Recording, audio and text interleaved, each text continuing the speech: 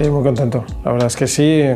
Ya lo que es el tiempo que estuvimos de, de lo que queda de temporada estuvimos muy a gusto y bueno, una vez conseguido el objetivo, como las dos partes creo que estábamos muy contentos, pues ha sido muy fácil continuar, pero sí, de entrada muy muy contento de, de estar el año que viene aquí.